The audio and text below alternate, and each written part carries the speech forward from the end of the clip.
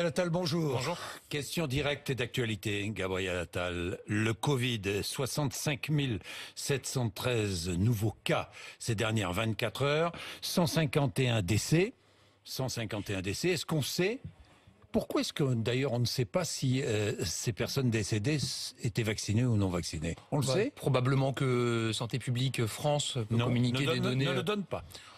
On sait qu'aujourd'hui, euh, quand vous prenez euh, un panel de Oui. 10 000 personnes qui sont non vaccinées et un panel de 10 000 personnes qui sont vaccinées, le nombre de personnes qui ont le Covid, une forme grave, une hospitalisation en réanimation et un décès est beaucoup plus important chez les personnes non vaccinées que chez les vaccinés. Mm. Mais ne devrait-on pas donner êtes- d'ailleurs ce chiffre Bah, on le donne sur. euh, Tant de décès par jour, tant de décès de personnes non vaccinées, tant de décès ouais, de on, le- personnes on- on- vaccinées. on le donne sur les. simple. On le donne sur les hospitalisations, les réanimations. Je pense Oui. qu'on doit pouvoir le donner sur les décès. Je retiens. je vous dis ça parce que ça inciterait peut-être certains à aller se faire vacciner. Oui, absolument. Il faut toujours rappeler que quand Oui. Mm. vous êtes vacciné, vous avez, alors ça dépend des études scientifiques, mais entre 6 et 9 fois euh, moins de risque d'être hospitalisé, d'avoir une forme grave de la maladie. Donc évidemment que le vaccin est très protecteur. Je retiens sur euh, la statistique, euh, sur les décès. Et